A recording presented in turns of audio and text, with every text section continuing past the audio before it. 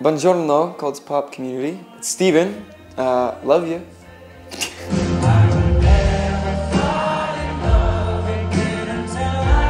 Personally, it feels like a symbolism for all that we've gotten to do. I mean, that song kind of opened the door for a new record, you know, seeing the world the way that we've gotten to and playing sold out shows across the States and in Australia and in Europe. And, uh, you know, it enabled a new record and it, became the inspiration for a brand new record, uh, Angel Face. And um, there's, I mean, artist relationships like uh, with Elton John and with Tom Odell and, you know, seeing love stories and, and weddings from across the world, you know, happen.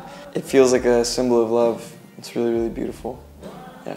I think I'm, I'm far less concerned about what people think about me when it comes to making music. I think I just, I'm such a perfectionist that I want to be able to be a fan of the music that I'm releasing. Like I want to be able to listen to it and be like, oh, this is good. Like I like this. I could listen to it if it wasn't mine. And uh, I think with that mentality, there's far less concern for everybody else's opinion. I just care about mine when I'm making it. And so I think when it comes to staying true, I think it just comes naturally from that place of just wanting so badly to make something that when I'm 80, I can look back, or even 40 and I'm, I'm not playing music anymore, I can look back and be like, wow, I was really proud of that. And it's because I liked it.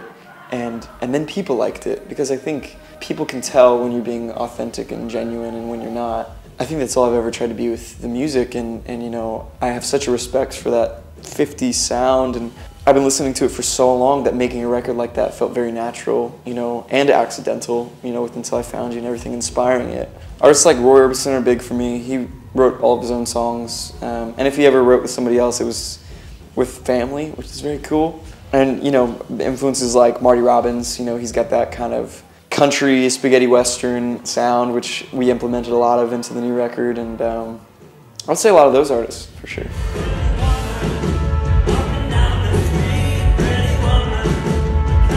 I love the conceptual road that I've kind of been going on with records, and I think this next one's going to be really a very personal story. Very, very. Um, it's going to have characters. I'm still formulating it, so I won't share too much about it. But it's going to be a mini movie that's like tied to an, a full-length album, and uh, there'll be characters, and it'll be about love, loss, and redemption, and all those things. Um, just kind of the more real parts of life than just the um, the dramatics and the fictional uh, elements of Angel Face. This one will feel more real and authentic, and I think more um, honest. Be very honest. Yeah, very excited for it.